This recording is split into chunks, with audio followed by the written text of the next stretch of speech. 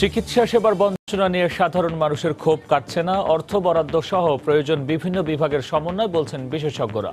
গুরুত্ব দেয়া হচ্ছে অগ্রাধিকার প্রকল্পগুলো।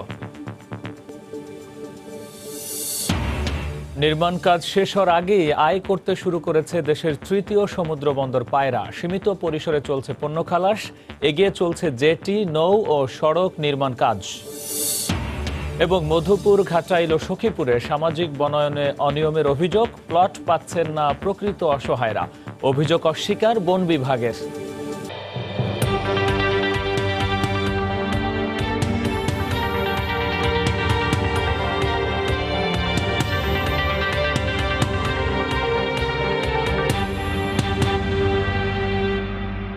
দেখছিলেন শিরোনাম।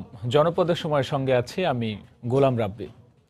শিশু ও মাতৃ মৃত্যুর হার কমানো, গড় আয়ু বাড়া সহ স্বাস্থ্য খাতের বিভিন্ন সূচকে সাফল্য অর্জিত হলেও কাঙ্ক্ষিত স্বাস্থ্যসেবা না পাওয়ায় সাধারণ মানুষের মধ্যে ক্ষোভ রয়েই গেছে। বিশেষজ্ঞরা বলছেন, এ খাতে জনবল সংকট দূর ও যথাযথ সমন্বয় করতে হবে অগ্রাধিকার ভিত্তিতে। আর স্বাস্থ্যমন্ত্রী ও প্রতিমন্ত্রী বলছেন, নির্বাচনী ইশতেহার অনুযায়ী প্রান্তিক জনগোষ্ঠীর কাছে শহরের মতো স্বাস্থ্যসেবা পৌঁছে দেয় তাদের লক্ষ্য। সাজিদ রাজু রিপোর্ট। সরকারি হাসপাতালে রোগীদের এমন দীর্ঘ লাইন পরিচিত দৃশ্য। প্রতিটি হাসপাতালেই এমন উপচে পড়া ভিড়ের তুলনায় নেই প্রয়োজনীয় চিকিৎসক। গ্রামে পরিস্থিতি আরও ভয়াবহ। শিশু হাসপাতাল। আমার মেয়ে আজ তিন দিন ধরে পেশাবও করে না পায়খানাও করে না। কিন্তু আমি কোনো ডাক্তারের কাছে যাই মুখ পাইতেছি না কোনো দাঁড়ানো পারতেছি না আমার বাইর করে দেয়। বারোটার পরে তাদের চেম্বার ক্লোজ হয়ে যায়।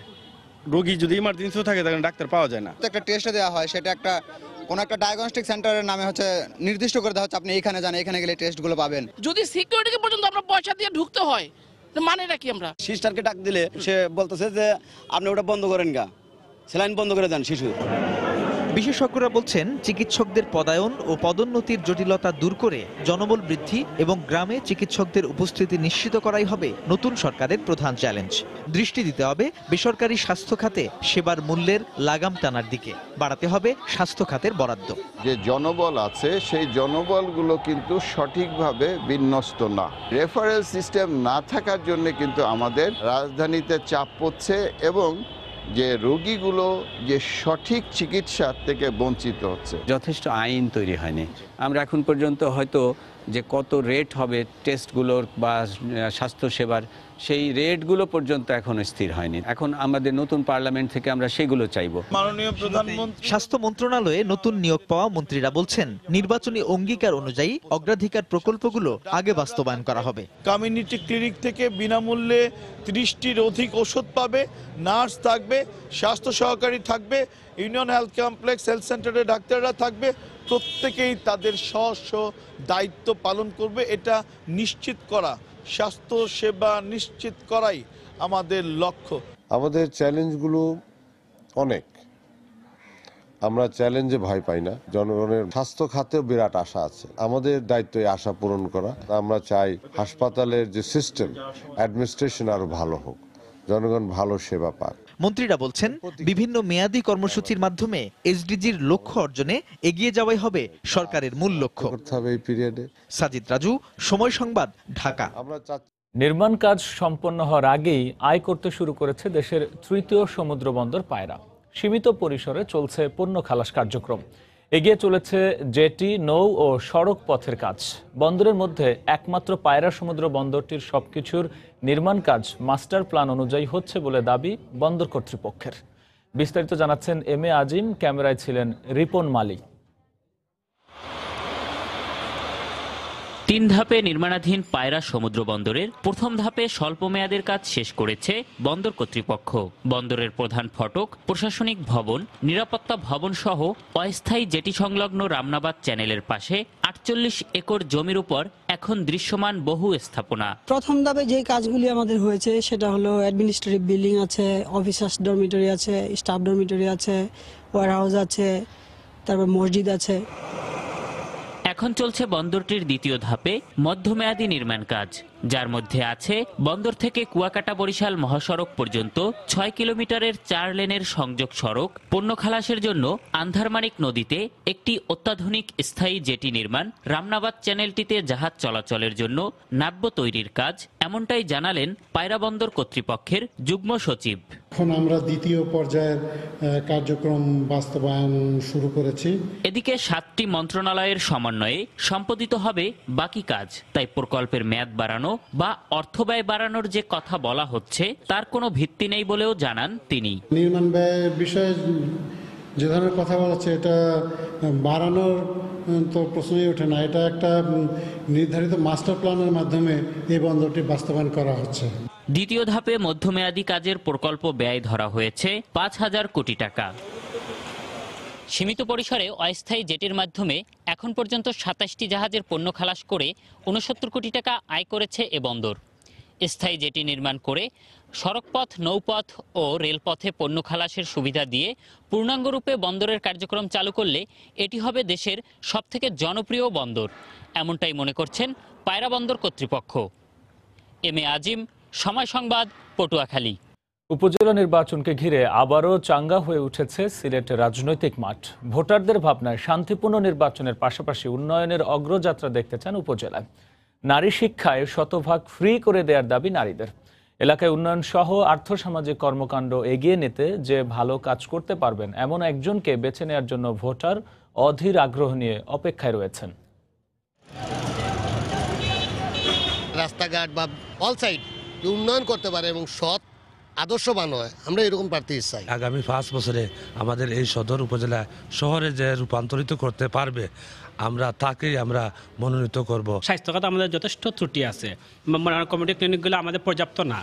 সেক্ষেত্রে কমিউনিটি ক্লিনিক স্থাপন সহ অন্যান্য যে পদক্ষেপ নেওয়া প্রয়োজন ওনারা ওই বিষয়টা একটু খেয়াল করবেন। যাতে বিনামূল্যে লেখাপড়াটা সুচ্ছব হয় আমাদের আগামী দিনের বা শিশুদের যেন ভবিষ্যৎটা উজ্জ্বল হয় তাদিকে লক্ষ্য রাখবা। গরিব দুঃখী যত মানুষ আছে আমরা তার গিয়া কথা তার কাছে গিয়া কইতাম পারব এইরকম আমরা একজন প্রার্থী চাই। যারা কাজ করবেন উন্নয়নমূলক বা ভালো লিডার যারা আছেন তাদেরকে নিয়ে আসা আমাদের দরকার। উপজেলা নির্বাচন নিয়ে সাধারণ মানুষের ভাবনা সম্পর্কে জানাতে সিলেট থেকে যোগ দিচ্ছেন ইকরামুল কবির, আমরা সরাসরি চলে যাচ্ছি সেখানে। সিলেটে এই আড্ডায় বসেছি নির্বাচন উপলক্ষে যে আগামী যে উপজেলা নির্বাচন হবে পঞ্চম উপজেলা নির্বাচন। এই পঞ্চম নির্বাচন নিয়ে ইতিমধ্যে মাঠ বেশ সরগম গরম হয়ে উঠেছে। প্রত্যেকটি উপজেলায় বিভিন্ন প্রার্থীরা ধর্ণা দিচ্ছে তাদের নমিনেশন পাওয়ার জন্য জেলা এসে এবং বিভিন্ন রাজনৈতিক দলগুলোর কাছে। এখন সব কিছু মিলে বলা যায় একটা নির্বাচনের পরিবেশ আবার ফিরে এসেছে উপজেলাগুলোতে। সেই ক্ষেত্রে আমরা এখানে আড্ডা এসছে। বিভিন্ন তরুণ বয়সী এবং বিভিন্ন শ্রেণি পেশার আহ, প্রতিনিধিদেরকে নিয়ে আমরা এখানে বসেছি। আমাদের কাছে আপনাদের, আমাদের এই আড্ডায় স্বাগত জানাচ্ছি। সিলেটের আড্ডায় উপজেলা নিয়ে বিভিন্ন অভাব, অভিযোগ, বিভিন্ন দাবি দাওয়া নিয়ে আপনাদের সাথে কথা বলব। আমি প্রথমে আপনার কাছ থেকে জানতে চাচ্ছি, আপনাদের শিক্ষার সাথে জড়িত আছে। এই যে আসন্ন নির্বাচন, পঞ্চমবারের মতন একটি নির্বাচন অনুষ্ঠিত হবে। সেই নির্বাচনে সিলেটের তেরোটি উপজেলা নির্বাচন অনুষ্ঠিত হবে। সেই নির্বাচনটি আপনি কি ধরনের নির্বাচন দেখতে চাচ্ছেন? ধন্যবাদ। আমরা কিছুদিন আগে জাতীয় নির্বাচন উৎসব মুখর পরিবেশে পালন করলাম বলা যায়। এখন উপজেলা নির্বাচন সত্যি এটা একটা আনন্দের বিষয় যে আমরা একই সাথে দুটো নির্বাচনকে সামনে পাচ্ছি। সেই ক্ষেত্রে উপজেলা নির্বাচন আমাদের স্থানীয় সরকারের একটা এক শক্ত অবকাঠামোর উপর দাঁড়িয়ে আছে। সেই বিষয়ে বলতে গেলে আমার প্রথমেই বলতে হয় যে এই উপজেলা আমাদের যে স্থানীয় অবকাঠামো থেকে শুরু করে সার্বিক বিষয়গুলোই কিন্তু এই উপজেলার উপর নির্ভরশীল। সেখানে শিক্ষা আছে, স্বাস্থ্য আছে, সংস্কৃতি আছে, সামাজিকতা আছে। আমি যেহেতু শিক্ষার সাথে জড়িত, একজন শিক্ষক হিসাবে আগামী যে প্রার্থী হবেন, তার কাছে আমার চাওয়া এতটুকুই যে শিক্ষা ব্যবস্থা আসলে স্থানীয়ভাবে যেভাবে বিস্তারিত হওয়ার কথা, সেইভাবে এখনও যেন পৌঁছাচ্ছে না। কারণ আমরা একজন উপজেলার যিনি চেয়ারম্যান থাকেন, তার উপরে আসলে প্রাথমিক শিক্ষার যে বিষয়টা, সেটা অনেকটাই বর্তায়। তিনি মনিটরিং করেন প্রাথমিক শিক্ষা ব্যবস্থা। তো আমার এইটাই আশা থাকবে যে আগামীতে যিনি নির্বাচিত হয়ে আসবেন, তিনি যেন প্রাথমিক শিক্ষার উপরে খুব গুরুত্ব আরোপ করেন তার নিজের উপজেলায়, যেন প্রত্যেকটা স্কুল মনিটরিংয়ের যে বিষয়টা আছে সেটা যেমন দেখভাল করার যে বিষয়টা সেটা তিনি করেন। তার পাশাপাশি আমাদের সিলেটের বিশেষ করে পাহাড়ি অঞ্চল কিংবা চা দূষিত যেগুলো আছে ক্ষুদ্র নিগোষ্ঠী তাদের প্রতিও যেন একটা সদয় মনোভাব তিনি পোষণ করেন। এটাই আমার ধন্যবাদ। ধন্যবাদ আপনাকে। আমি একটু এই যে শিক্ষা সম্বন্ধে জানলাম এখন উপজেলাগুলোতে প্রত্যেকটি উপজেলা স্বাস্থ্য ব্যবস্থার বেশ আমূল পরিবর্তন হয়েছে। আর কি কি করা উচিত বা কে কি ধরনের পর্যায়ে আছে স্বাস্থ্য ব্যবস্থা আপনি যদি একটু বলতেন আমাকে। আমাদের উপজেলাগুলোতে প্রতিটা কমিউনিটি ক্লিনিক আছে প্লাস ইয়ে আছে উপজেলা স্বাস্থ্য কমপ্লেক্স আছে। আমি যেটা মনে করি যে সেখানে পর্যাপ্ত পরিমাণ ডাক্তার নেই, তো সেটা উপজেলা যে প্রার্থী হবে বা যিনি নির্বাচিত হবেন, তিনি ওই ওই বিষয়গুলো মনিটরিং করবেন যে কমিউনিটি ক্লিনিকগুলোতে ডাক্তার আছে কি না সময় মতো আসে কি না বা উপজেলা স্বাস্থ্য কমপ্লেক্সে ডাক্তার আছে কি না বা সময় মতো আসে কি না সেগুলো তিনি একটু মনিটরিং করবেন। আমি এটাই আশা করি। ধন্যবাদ আপনাকে। আমাদের এখানে নারী প্রতিনিধি হিসাবে আপনি উপস্থিত আছেন। আমি আপনার কাছে জানতে চাইব, প্রত্যেকটা উপজেলা পরিষদে নারী প্রতিনিধি থাকে। সেক্ষেত্রে নারীদের কতটুকু ক্ষমতায়ন আছে বা ক্ষমতায়ন করা উচিত বলে আপনি মনে করেন? আমি মনে করি যে প্রতিটি উপজেলার যে নারী প্রতিনিধিরা আছেন, তাদের যেন আরও ক্ষমতায়নটা আরও বৃদ্ধি পায়, যাতে করে অন্যান্য নারীরা যেন আরও সামনে এগিয়ে যেতে পারে, তাদের আগামী দিনগুলো যেন আরও উজ্জ্বল হয়, সেটাই আমি কামনা করছি। অভিযোগ করে থাকেন যারা নারী সদস্যরা থাকেন, তারা অভিযোগ করে থাকেন যারা পুরুষ সদস্য আছেন, তারা কাজ ভাগাভাগি করে নেয় বা বিভিন্ন কাজে তাদেরকে দায়িত্ব দেওয়া হয়, কিন্তু নারীদেরকে দায়িত্ব দেওয়া হয় না। এই বিষয়টা কতটুকু সত্য বা এদের, এ থেকে উত্তরণের কি পথ আছে? আসলে ব্যাপারটা এরকম না। নারীদেরও সেক্ষেত্রে প্রাধান্য দেওয়া হয়। তারপরেও যদি যদি নারীদের আরও উদ্যোগী করা যায়, তাহলে এটা কিন্তু মানে পুরুষটাই পারে নারীদেরকে উদ্যোগে উদ্যোগে আনা। তাই আমার মনে হয় যেন নারীদেরকে আরও ক্ষমতায়নটা বৃদ্ধি করা যায় করলে এই সমস্যা থেকে উত্তরণ হওয়া সম্ভব। ধন্যবাদ আপনাকে। আমি একটু জানতে চাইব যে এই তৃণমূল পর্যায়ে সবচেয়ে দ্বিতীয় বৃহৎ একটি নির্বাচন ইউনিয়ন পরিষদ নির্বাচন পরেই উপজেলা নির্বাচন।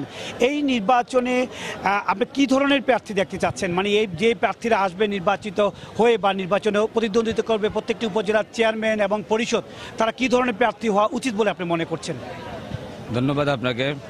আসলে আমাদের যে তৃণমূলের যে উন্নয়নটা উন্নয়নের জন্য আমাদের প্রয়োজন আছে যে প্রার্থীগুলো আসবে যে- যেন ভালো সৎ সৎ মানুষ হয়। কারণ সৎ মানুষ না হলে তো আমাদের যে তৃণমূলের উন্নয়নগুলা ক্ষতিগ্রস্ত হবে। সরকারের যে বর্তমান যে প্রেক্ষাপটে সরকার যেদিকে আগাচ্ছে, যে উন্নয়নের দ্বারা অব্যাহত রাখতে, সেখানে তো আমাদের অবশ্যই একজন জনপ্রতিনিধি হবে। সেই রকম জনপ্রতিনিধি দরকার যেখানে আমাদের উন্নয়ন হবে, যাকে নিয়ে আমরা সামনের দিকে এগোতে পারব, যার কাছে কোনো দুর্নীতি নেই, সন্ত্রাসী নেই, মাদকদ্রব্য, কোনো ধরনের কোনো অভিযোগ নেই সেই রকম প্রার্থী আমরা প্রত্যাশা করব। আর সরকারের উন্নয়নটা ধরে রাখার জন্য সেই রকম প্রার্থী আমরা, পুরো বাংলাদেশে আমরা সবাই চাই, এরকম একজন প্রার্থী চাই আমরা। ধন্যবাদ। ধন্যবাদ আপনাকে। আপনার কাছ থেকে একটু জানতে চাইব প্রশাসনকে একেবারে দোরগোড়ায় পৌঁছে দেওয়ার জন্য, তৃণমূল পৌঁছে নেওয়ার জন্যই তো উপজেলা পরিষদ। সেই ক্ষেত্রে এই উপজেলা পরিষদের যে থিম যেটা বা উপজেলা পরিষদের যে লক্ষ্য এবং উদ্দেশ্য, সেটা কি সফল হয়েছে কিনা? না হয়ে থাকলে কি করা উচিত বলে আরও কীভাবে শক্তিশালী করা উচিত বলে আপনি মনে করেন? ধন্যবাদ। আমরা জানি যে উপজেলা যে ইউনিয়নগুলো থাকে, অনেক ইউনিয়ন বিচ্ছিন্ন থাকে, উপজেলা থেকে অনেকটা বিচ্ছিন্ন থাকে। সেক্ষেত্রে দেখা যাচ্ছে যে আইনের আওতায় আনতে গেলে এখানে পুলিশ ফাঁড়ি বা আইনের প্রশাসনের যে তাদের নিরাপত্তাজনিত যে ব্যবস্থা রাখার কথা, সেক্ষেত্রে কিন্তু অনেকটাই পিছিয়ে আছে।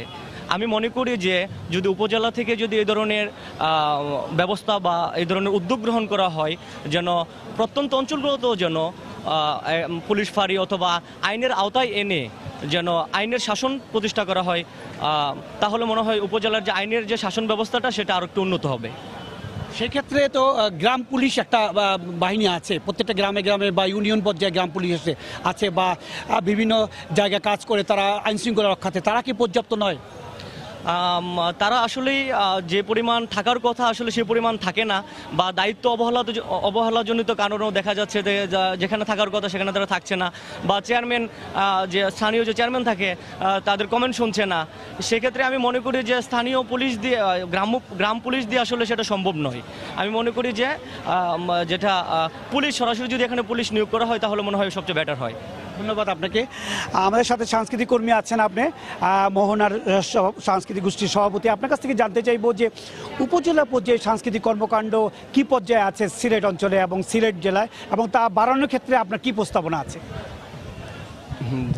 ধন্যবাদ।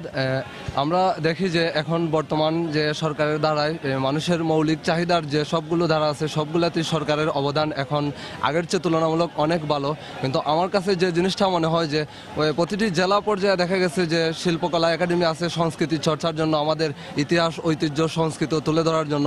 কিন্তু আমরা এখন পর্যন্ত দেখতে পাচ্ছি যে উপজেলা পর্যায়ে প্রতিটি উপজেলায় সেরকম এ, সুযোগ বা ব্যবস্থা করে দেওয়া হয় না তো আমাদের মতো যারা আছে সংস্কৃতি কর্মী বা যারা সংস্কৃতি চর্চা ইতিহাস ঐতিহ্য তুলে ধরার জন্য কাজ করছে। হয়তো সেরকম নির্ধারিত বা নির্দিষ্ট কোনো স্টেজ পাচ্ছে না। তো আমার আবেদন থাকবে যে এই বর্তমান, এই যে সামনে নির্বাচন আছে, নির্বাচনে যারা নির্বাচিত হবেন, তাদের মাধ্যমে যাতে উপজেলা পর্যায়ে আমাদের জন্য প্রতিটি উপজেলা এরকম যে মুক্ত মঞ্চ, শিল্পকলা একাডেমির তো জেলা পর্যায়ে আছে, এই যে অডিটোরিয়াম, এই ধরনের ব্যবস্থা করে দিলে আমরা যারা উপজেলা পর্যায়ে আছি বা তারা সবাই এই চর্চাগুলো তুলে ধরতে পারব সংস্কৃতি চর্চার যে ধারাটা অব্যাহত রাখতে পারব এবং জাতিকে আরও সামনে এগিয়ে নেওয়ার যে চেষ্টা সেটা আমরা অব্যাহত রাখতে পারব। ধন্যবাদ আপনাকে। আপনার কাছে সর্বশেষ একটা ছোট করে বলবেন আপনাকে নির্বাচন পরিবেশটা কেমন রাখার জন্য আপনি প্রার্থী সমর্থক এবং যারা ভোটার আছে তাদের কাছে দাবি জানাবেন? দেখেন আমরা বিগত দিনে যে নির্বাচনটা দেখেছি অনেকটা সুস্থ এটা সারা বিশ্বেই স্বীকৃত হয়েছে মোটামুটি। তো আগামী ইলেকশনে যাতে করে আমরা নির্বাচন তো চলে যাবে, এইটাকে নিয়ে যাতে করে আমাদের মধ্যে কোন ধরনের দ্বন্দ্ব কিংবা পরিবেশ বিঘ্নতার যে বিষয়টা চলে আসে, সেটা যেন না ঘটে। আমরা আর আপনি একটা জিনিস ভালো করে জানেন যে, আমাদের সিলেটের মানুষ খুবই আন্তরিকতার সহিত আমরা একে অন্যের সাথে চলাফেরা করি। এই বিষয়ে আশা করি আমাদের সিলেটের মানুষরা কখনো কোনো বিষয়কে ইয়ে করবে না। আর আমরা তাও অব্যাহত রাখব। আপনার কাছে জানতে চাইব আইন শৃঙ্খলা রক্ষার্থে আপনি কি ধরনের পদক্ষেপ নেওয়া উচিত বলে আপনি মনে করছেন? আমি যদি বলি তাহলে আইন শৃঙ্খলা যে রক্ষা ব্যাপারটা আসলে আইন শৃঙ্খলা সবখানেই থাকে। কিন্তু ওই আইন শৃঙ্খলা ব্যাপারগুলো পর্যাপ্ত পরিমাণ মনে ইউজ হচ্ছে না। সেখানে যে যদি আমরা ইউজ করতে পারি তাইলে মনে করেন যে সেটা সবসময় হয়ে যাবে আর কি। ধন্যবাদ ধন্যবাদ আপনাদেরকে আমাদের এই আড্ডায় অংশগ্রহণ করার জন্য। রাব্বি, পঞ্চম উপজেলা নির্বাচন বিভিন্ন ধাপে অনুষ্ঠিত হবে। চতুর্থ জাতীয় নির্বাচন যেটি ছয়টি ধাপে অনুষ্ঠিত হয়েছে, একইভাবে এই পঞ্চম যে উপজেলা নির্বাচন, সেই ছয়টি ধাপে অনুষ্ঠিত হবে বা আরও কয়েকটি ধাপে অনুষ্ঠিত হবে। বত্রিশ লাখ ভোটার অধীর আগ্র- আগ্রহে অপেক্ষা করছেন সিলেটের তেরোটি উপজেলায় সেই নির্বাচনে অংশগ্রহণ করার জন্য। প্রার্থীরা প্রস্তুত, ভোটাররাও প্রস্তুত। আগামী নির্বাচন শান্তিপূর্ণভাবে অনুষ্ঠিত হবে, সেই অপেক্ষায় আছি আমরা সবাই সিলেটবাসী। রাব্বি, এই ছিল উপজেলা নির্বাচন উপলক্ষে সিলেটের আড্ডার সর্বশেষ। সিলেট থেকে উপজেলা নির্বাচন নিয়ে সাধারণ মানুষের ভাবনা জানাতে যুক্ত হয়েছিলেন রিপোর্টার ইকরামুল কবির। ময়মনসিংহের ত্রিশালে জমে উঠেছে মাছের বাজার। বিভিন্ন জেলা থেকে দেশীয় মাছ নিয়ে এ বাজারে আসেন ব্যবসায়ীরা। বেলা বাড়ার সঙ্গে সঙ্গে বাড়ে ক্রেতা বিক্রেতাদের ভিড়। তবে দাম বেশি অভিযোগ করেন ক্রেতারা। বিস্তারিত জানাচ্ছেন হারুনুর রশিদ। আমদানি কমে যাওয়ায় ময়মনসিংহের বাজারে বেড়েছে সব ধরনের মাছের দাম। গত পনেরো দিনের ব্যবধানে কেজি প্রতি মাছের দাম বেড়েছে পনেরো থেকে বিশ টাকা। শীতের কারণে চাষিরা মাছ না ধরায় বাজারে মাছের আমদানি কমে গেছে বলে জানান আড়তদার ও ব্যবসায়ীরা। এখন শীতের সিজন মাছ বাজারে কম আসে এই কারণে মাছের বাজার ভালো। নাটোর রাজশাহী সাতক্ষীরা বাগেরহাট এগুলো থেকে মাছ বেশি আসে। বাজার ভালো আলহামদুলিল্লাহ। এইভাবে থাকলে তো মোটামুটি ভালোই। চাষিরা মোটামুটি লাভবান হবে ইনশাল্লাহ। বাজারে মাছের দাম বাড়ায় দারুণ খুশি চাষিরা। বর্তমান বাজার দর অব্যাহত থাকলে এবছর লাভবান হবেন বলে জানান তারা। রুই মাছ একশো পঞ্চাশ ষাট আবার ছোট মাছ একশো দশ মাছ এরকম চলতেছে। তো মোটামুটি বাজার ভালো। ইনশাল্লাহ এই বাজার থাকলে আমরা লাভবান হতে পারব। এই পাইকারি মাছের বাজারে প্রতিদিন গড়ে চল্লিশ থেকে পঞ্চাশ লাখ টাকার মাছ বেচা কেনা হয়। ত্রিশালের পাইকারি মাছের বাজার থেকে হারুনুর রশিদ, সময় সংবাদ, ময়মনসিংহ। ময়মনসিংহের এ মাছের চাষ ও বাজার নিয়ে বিস্তারিত আলোচনা থাকছে সংবাদের পরের অংশে। মাছ চাষ ও এর ব্যবসা নিয়ে কথা বলতে ময়মনসিংহের ত্রিশাল থেকে যোগ দিচ্ছেন হারুনা রশিদ, আমরা চলে যাচ্ছি সেখানে। দেশের অন্যতম সবচেয়ে বড় মৎস্য উৎপাদনকারী এলাকা হচ্ছে ময়মনসিংহ জেলা।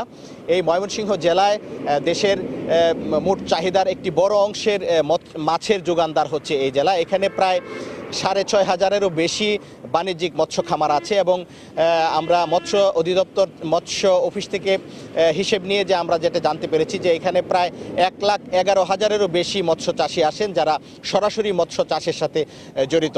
আর আমরা এখন যে জায়গাটিতে আছি, এটি হচ্ছে ময়মনসিংহের ত্রিশাল উপজেলার যে মাছের আড়ত, সেই মাছের আড়তের সামনে। এই ত্রিশাল হচ্ছে এই জেলার সবচেয়ে বেশি বাণিজ্যিক মৎস্য খামার বা মৎস্য উৎপাদনকারী যাই বলি, এই এই উপজেলা এখানে সবচেয়ে বেশি মাছ উৎপাদন হয়। আমরা এই ত্রিশাল এলাকার বা ময়মনসিংহ অঞ্চলের মাছ চাষের সমস্যা, সম্ভাবনা এবং এ থেকে উত্তরণের করণীয় সম্পর্কে কথা বলার জন্য জড়ো হয়েছি এই মাছের বাজারে। আমার সাথে আজ এখানে যুক্ত হয়েছেন তিনজন মাছ উৎপাদনকারী এবং একজন ব্যবসায়ী। আমরা তাদের সাথে কথা বলব এই মাছ চাষের বিভিন্ন সমস্যা এবং সম্ভাবনা নিয়ে। আমি প্রথমেই যেতে চাই, আমার ডান পাশে আছেন মৎস্য উৎপাদনকারী এবং ত্রিশালের সবচেয়ে বেশি মাছ যিনি উৎপাদন করেন, আবু নোমান। আমি আপনার কাছে একটু জানতে চাইব যে এই ত্রিশাল অঞ্চলে আপনারা যে মাছ চাষ করেন, মাছ চাষের কি অবস্থা বা কি সমস্যা বা সম্ভাবনা কতটুকু? আমরা এখানে বাণিজ্যিকভাবে মাছ চাষ করতেছিলাম মানে প্রায় বিশ বছর হয়ে গেল এখানে ইতিহাস। কিন্তু এখানে আমরা প্রথম থেকে যে র্যান্ডম বাজারটা পাইতাম, এখন সেই পরিস্থিতি নাই। এখন আমরা মানে প্রায়শই সমস্যার মুখোমুখি হচ্ছি। যেমন আমার একটা ফার্ম আছে, যেটা বড় ফার্ম। আমি প্রতি মাসে, প্রতি পনেরো দিন পর পর আমাকে সেল করতে হয়। এরকম না যে আমি বছরে একবার বাজার বেশি ভালো হলে তখন সেল করে আমি টাকা আর্ন করতে পারব, এরকম না। আমার পুরো প্রতিষ্ঠান চালাইতে সেভাবে আমরা এইভাবে চলতেছিলাম। কিন্তু এখন দেখা যাচ্ছে যে প্রায়শই আমরা মানে উৎপাদিত মাছ বাজারে আর মানে সেল করতে পারি না। মানে দাম একেবারে কমে যায়। এবং এটা এরকম একটা অবস্থা যে আমরা তো বেশিরভাগ মানে পাঙ্গাস চাষ করি, এলাকার মানুষজন, পাঙ্গাসে আমাদের কেজিতে সর্বোচ্চ আমরা টার্গেট থাকে বারো থেকে চোদ্দ টাকা, দশ টাকা, এই পরিমাণ লাভ। যেখানে আশি টাকা, সত্তর টাকা খরচ হয়। সেই ক্ষেত্রে দেখা যাচ্ছে যে আমরা যখন দশ টাকা করে লস হয় আমাদের, মাত্র দশ টাকা কেজিতে, তখন আমাদের যার এক হাজার টন মাছ আছে, তার আশি লাখ, নব্বই লাখ টাকা চলে যায়। এখানে আমরা যে, এখন বর্তমান যে পরিস্থিতিটা দেখতেছি, যে আমাদের মাঝে মাঝেই মানে আমরা ঠিক বুঝতে পারি না যে কেন হঠাৎ করে বাজারে একদম মানে মাছ চলতেছে না? হঠাৎ করে মনে হয় যে ক্রাইসিস হঠাৎ করে চলতেছে না। আমরা টোটাল মানে সারা বাংলাদেশের যে ডিমান্ড এবং আমা- আমরা যে মাছ উৎপাদন করতেছি, আমরা এটা পরিসংখ্যানে পাইছি যে আমাদের এখানে টোটাল সারা বাংলাদেশে মানে আটত্রিশ লাখ মেট্রিক টন থেকে চল্লিশ লাখ মেট্রিক টন হলো আমাদের মানে মোট চাহিদা। সেখানে আমরা প্রাকৃতিক সব মিলে আমরা হয়তো বিয়াল্লিশ লাখ মেট্রিক টনে চলে গেছি।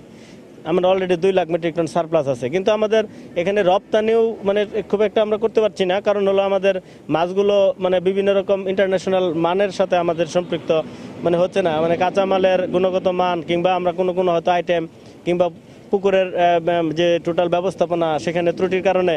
কিন্তু এখন আমরা যেটা দেখতেছি যে আজকে পর্যন্ত আমাদের যে প্রোডাকশন মানে সারা বাংলাদেশ মিলিয়ে, তাতে করে আমাদের সারা বাংলাদেশের চাহিদা অলরেডি পূরণ করে আমরা মনে হয় সারপ্লাসে আছি। ধন্যবাদ, আমি চেষ্টা করব আবার আপনার কাছে আসার জন্য। আমি যেতে চাই, আমার বাম পাশে আছেন মোহাম্মদ শাহজাহান, তিনিও মৎস্য উৎপাদনকারী। আমি আপনার কাছে একটু জানতে চাইব যে আসলে এই যে নোমান ভাই বলছিলেন যে মাছ চাষে দাম কমে যায় লস হয়, তো এটা কি কারণ? আসলে মাছের খাবার বা মানের বিষয়ে আপনি কি বলবেন? আসলে মূলত যে মাছের খাবারের যে আমরা আইটেমগুলো ব্যবহার করি, অতিরিক্ত দাম। কিন্তু ওই হিসাবে আমরা মাছের বাজার পাইতেছি না। আর যেহেতু এই যেমন এই বসিয়া এগুলো আমরা অনেক দামে কিনতেছি, এই হিসাবে বাজার পাইতেছি না, যার ধরুন আমার দশ থেকে বারো টাকা লস হইতেছে প্রতি কেজিতে। এই হিসেবে আমরা খুব ক্ষতিগ্রস্ত। এই মাছের বাজার যদি এটা মাছ যদি দেশের বাইরে রপ্তানি করা হয়, তাহলে হয়তো আমরা এই লস থেকে উদ্ধার হইতে পারব। ধন্যবাদ। আমি একটু যেতে চাই, আমার ডান পাশে আছেন একজন ব্যবসায়ী যিনি এই অঞ্চল থেকে মাছ ক্রয় করে বিভিন্ন জায়গায় বিক্রি করেন মোহাম্মদ আজিম উদ্দিন আমি আপনার কাছে একটু জানতে চাইব যে আপনি এই যে মাছ এখান থেকে মাছ ব্যবসার সাথে জড়িত, তো এই মাছ ব্যবসার বেচাকেনায় আসলে কি জটিলতা আছে বা কি সমস্যা আছে, একটু যদি বলেন? জটিলতাটা হইল আমাদের, আমরা যে মাছগুলো এখান থেকে ক্রয় করি বা ক্রয় করে যখন বিক্রি করতে যাই, তখন সঠিকভাবে সে- সেখানে সঠিকভাবে আমরা দাম পাই নাই। দাম পাওয়ার না কারণে আমরা এটা সরকারের যদি যাত্রাবাড়ি কারণ বাজার সারা বাংলাদেশ মাছ সাপ্লাই দিই। এখানে আমাদের মূল্য, এখান থেকে যা কিনে নিই তা আমরা এখান থেকে পাইতেছি না।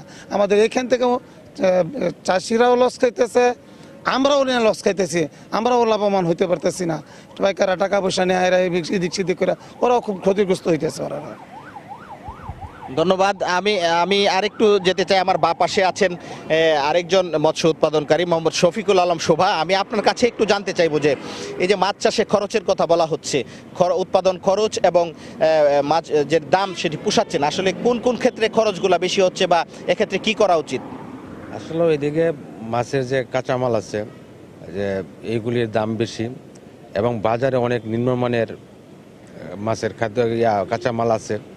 যেগুলি বিএসটি এর অনুমোদন আছে কিনা এইগুলো যদি পরীক্ষা করা হয়। এছাড়া আরেকটা বড় সমস্যা হলো যে কৃষিতে যেমন সরকার ভর্তুকি দিচ্ছে, যেমন দেখা গেছে আমরা সেচ কৃষিতে সেচ ব্যবহার করে পানি দেওয়া হয়, ওইখানে বিদ্যুতের একটা রেট আছে। কিন্তু আসলে মাছকে শিল্পপতি করাতে এখানে মাছের পুকুরে যে পরিমাণ পানি দেওয়া হয়, এতে অনেক বিদ্যুৎ খরচ বেশি হয়। যেমন এটা প্রায় দশ এগারো টাকার মতো হয়ে যায়। আমার মনে হয় কি যদি এটাকে শিল্প না করে কৃষিতে রূপান্তরিত করা হয়, তাহলে সে বিদ্যুৎ খরচ দেওয়া একটু সাশ্রয় হবে প্লাস পুকুরে বালু পানি দেওয়া যাবে, এবং বা পানি যদি পরিষ্কার করা যায়, তাহলে মাছের গুণগত মান ভালো হবে, এবং গুণগত মান ভালো হলে মাছের দামও একটু ভালো হয়। আরেকটা জিনিস হলো যেটা বড় জিনিস, যে মাছ যারা আমরা বিক্রি করি এটা অনেক অনেক সময় দেখা গেছে, আমরা যে আড়তগারের কাছে বিক্রি করি তে ওনারা আসলে অনেক সময় দাম নিয়ে টুই করে, যার কারণে আমাদের একটু সমস্যা হয়। এই ধরনের যে সমস্যাগুলি আছে, এগুলির জন্য আরেকটা জিনিস হলো যে ঋণ।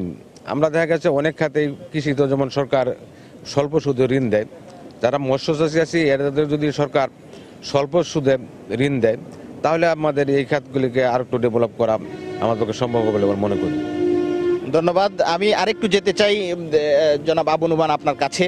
আমি জানতে চাইব যে আসলে এই যে সমস্যাগুলো আছে, মাছ বিক্রি বা বাজার কমে যাওয়া বা যে খাবারের দাম এবং মান নিয়ন্ত্রণের একটি অভাব আছে, এগুলো থেকে উত্তরণের কি পরামর্শ আপনার? অ্যাকচুয়ালি আপনি দেখবেন মুক্তবাজার অর্থনীতি বা স্বাভাবিকভাবে যে জিনিসগুলো চলছে, ব্যবসা বাণিজ্য। এখানে একটা জিনিস যখন প্রচুর ডিমান্ড হয়ে যায় কোনো জিনিসের যেমন খাবার, প্রচুর খামার গড়ে উঠছে। এখানে ধরেন মানে যে কোনো জিনিস, মনে করেন ধরেন আমাদের যে পরিমাণ রাইস পলিশ লাগে কিংবা আমাদের খৈল লাগে, আটা লাগে বা যে যেগুলো, এগুলো সব কিন্তু বাই প্রোডাক্ট ম্যাক্সিমাম যে কোনো একটা মানে সরাসরি মূল প্রোডাক্ট কিন্তু না বাই প্রোডাক্ট বেশিরভাগ ইউজ হয় মাছের খাদ্যের মধ্যে।